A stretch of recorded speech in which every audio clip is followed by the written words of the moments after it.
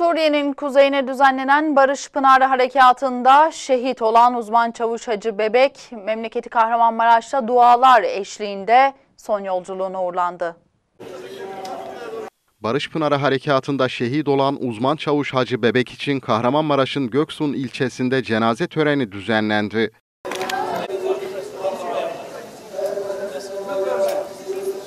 Öğle namazına mütakip Ulu Camii'nde düzenlenen cenaze töreninde şehidin eşi Gülseren, kızı Ezgi Yağmur ve oğlu Samet Bebek ağlamayarak tabutun başından bir an olsun ayrılmadı. Güzel yavrum. Sarılmak istedim. Sarılamadım. Şehidin kızı Ezgi Bebek, babasının tabutu başında ağlamayacağım bugün senin doğum günün baba dedi.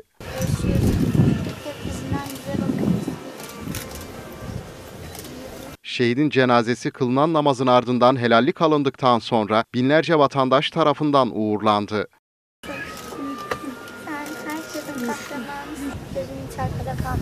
Şehit Hacı Bebek'in cenazesi Göksun ilçesi Kerpetenli mezarlığında toprağa verildi.